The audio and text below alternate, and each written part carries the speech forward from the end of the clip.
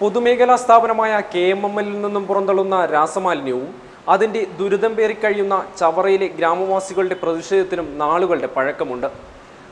മാലിന്യം പുറന്തള്ളുന്നതോടെ കിണറുകൾ ഉൾപ്പെടെ ഉപയോഗശൂന്യമായതിനാൽ കുടിവെള്ളം പോലും കിട്ടാതെ വലയുകയാണ് ഇവിടത്തുകാർ.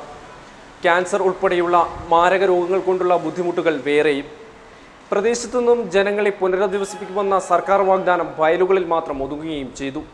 ഈ ദുരവസ്ഥയ്ക്ക് എങ്ങനെ ഈ പരിഹാരം കാണണമെന്നാണ് ഇവിടത്തുകാരുടെ അപേക്ഷ. കെ എം എം എൽ കമ്പനിയിൽ നിന്നും ഒഴുക്കിവിടുന്ന ആസിഡും രാസമാലിന്യങ്ങളും കലർന്ന വെള്ളം ചവറ നിവാസികളുടെ ജീവിതം ദുസ്സഹമാക്കുകയാണ്. ഭൂപ്രദേശങ്ങളാകെ ഉപയോഗശൂന്യമായി. നാട്ടിൽ ചർമ്മരോഗങ്ങൾ ഉൾപ്പെടെ പടർന്നു പിടിക്കുന്നു. ഈ അവസ്ഥയിൽ എങ്ങനെ ജീവിക്കുമെന്നാണ് പ്രദേശവാസികൾ ഉന്നയിക്കുന്ന ചോദ്യം. നമ്മളിപ്പോൾ ഒരു ഈ പ്രദേശത്ത് ഒരു ഒരു യുദ്ധം നടന്ന സ്ഥലം പോലെ. ഈ സ്ഥലം നോക്കിയേ. ഈ സ്ഥലം ഇങ്ങനെ കിടക്കുന്നത്. ഞങ്ങൾക്ക് ഇവിടെ എങ്ങനെ കഴിയും ഞങ്ങൾ ഇവിടെ കഴിയാൻ പറ്റത്തില്ല. ഇവിടുത്തെ കുട്ടികളെയൊക്കെ വളർത്തുന്നതെന്ന് പറഞ്ഞു കഴിഞ്ഞാൽ വലിയ ബുദ്ധിമുട്ടാണ് അത് മാത്രമല്ല ഈ വള വലിയ ആൾക്കാർക്കും എല്ലാം രോഗമാണ് ഒട്ടുമിക്ക ആളുകൾക്കും ക്യാൻസർ ശ്വാസകോശ സംബന്ധമായ അസുഖങ്ങൾ അങ്ങനെ വളരെയധികം ബുദ്ധിമുട്ടുന്ന ആൾക്കാർ ഇവിടെ കിടക്കുന്നവർ നാട്ടുകാരുടെ പ്രക്ഷോഭത്തിന്റെ അടിസ്ഥാനത്തിൽ സർക്കാർ ഇവിടുത്തെ നൂറ്റി അൻപത് ഏക്കർ ഭൂമി ഏറ്റെടുക്കണമെന്ന് ഉത്തരവിറക്കിയിരുന്നു. കഴിഞ്ഞ മാർച്ച് ഒന്നിന് കെ എം എം എല്ലിന് ഇത് സംബന്ധിച്ച നിർദ്ദേശം സർക്കാർ സമർപ്പിച്ചു. എന്നാൽ നാളിതുവരെ ഭൂമി ഏറ്റെടുക്കാനുള്ള ഒരു നീക്കവും കെ എം എം എൽ നടത്തിയിട്ടില്ലെന്നാണ് നാട്ടുകാരുടെ ആരോപണം. ഇതേ തുടർന്ന് അവർ സമരരംഗത്തേക്ക് ഇറങ്ങുകയും ചെയ്തു. പന്മന ചിറ്റൂർ കളരി പൊന്മന എന്നീ പ്രദേശങ്ങളിലെ ജനങ്ങളാണ് ഫാക്ടറിക്ക് മുന്നിൽ സമരം നടത്തിയത്. മാലിന്യങ്ങൾ ഒഴുകിയെത്തി ജലസ്രോതസ്സുകളെല്ലാം മലിനമായതിനാൽ കുടിവെള്ളം കിട്ടാക്കനിയായ പ്രദേശങ്ങൾ ഏറ്റെടുക്കുന്നതിനുള്ള നടപടികൾ വേഗത്തിലാക്കണമെന്നും അവർ ആവശ്യപ്പെടുന്നു. ഉമ്മൻചാണ്ടി സർക്കാർ പറഞ്ഞ അന്നത്തെ സർക്കാർ പറഞ്ഞ് ഇത് ഈ സ്ഥലം ഏറ്റെടുക്കാമെന്നും പറഞ്ഞ് ഓർഡർ വരെ തന്നെയാണ്. ഗവൺമെന്റ് ഓർഡർ തന്നതാണ്.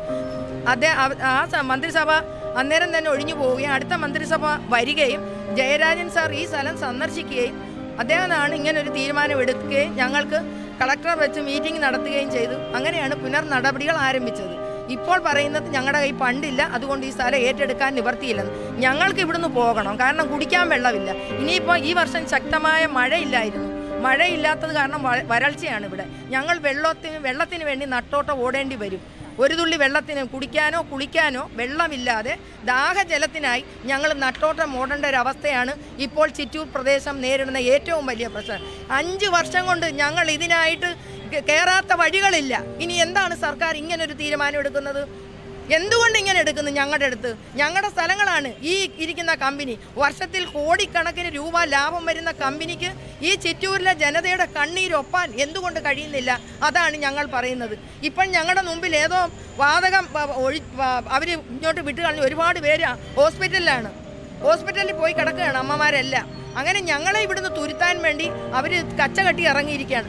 ഞങ്ങൾ ഇവിടുന്ന് പോകത്തില്ല. ഇനി ഞങ്ങളെ ഇവിടുന്ന് ഒഴിപ്പിക്കാൻ ഒരു തീരുമാനം സർക്കാർ ഏറ്റെടുക്കാ സർക്കാർ നടപടി സ്വീകരിക്കാതെ ഇവിടുന്ന് പോകുന്ന പ്രശ്നം ഞങ്ങൾക്കില്ല. ഞങ്ങൾ ഒത്തൊരുമിച്ച് നിന്ന് ഇവിടെ സമരം ചെയ്യും. അതിന് ജനങ്ങളെല്ലാവരും മുന്നേറി മുന്ന ഇവിടെ വന്ന് നിൽക്കുകയാണ്. സകല ജനങ്ങളും ഇവിടെ ഉണ്ട്. ഏതാണ്ട് മൂവായിരത്തോളം ജനങ്ങൾ ഒരു വീട്ടിൽ നിന്ന് ഒരാൾ പോലും ഇല്ല ഇവിടെ വരാത്തത്. അത്രയ്ക്ക് ശക്തമായ ഒരു സമരത്തിന്റെ ഇതിലാണ്. ഞങ്ങൾ ഇന്ന് ആഹാരം പോലും കഴിച്ചിട്ടില്ല.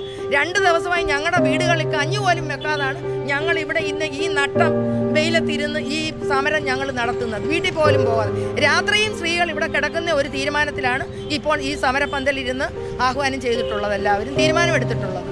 സ്ഥലം ഏറ്റെടുക്കുമെന്ന സർക്കാർ ഉത്തരവ് വന്നതോടെ ലൈഫ് പദ്ധതിയിലടക്കം ഉൾപ്പെട്ടവരെ ഒഴിവാക്കി. മുപ്പത്തൊന്നാം തീയതിക്ക് മുമ്പ് എല്ലാം എടുത്ത് പൈസ എന്താന്ന് ഇവിടുന്ന് പറഞ്ഞു വിടാമെന്ന് പറഞ്ഞാൽ അവർ അത് ചെയ്തില്ല. അപ്പോൾ അത് മുഖാന്തരം കമ്പനി മുഖാന്തരം വീട് പോലും പഞ്ചായത്തിൽ നിന്ന് അനുവദിച്ച വീട് പോലും എനിക്ക് കിട്ടാതിരിക്കുക. ഞാൻ പഞ്ചായത്തിൽ പോയപ്പോൾ അവർ പറഞ്ഞ് പിന്നെ പെർമിറ്റ് എനിക്ക് തരത്തില്ല കമ്പനി അക്വയർ ചെയ്തിട്ടേക്കുന്ന ആയതുകൊണ്ട് തരത്തില്ലെന്ന് പറഞ്ഞു. പന്ത്രണ്ട് വർഷം തോറ്റി തോനെയായി ഞങ്ങളിവിടെ താമസം തുടങ്ങിയിട്ട്.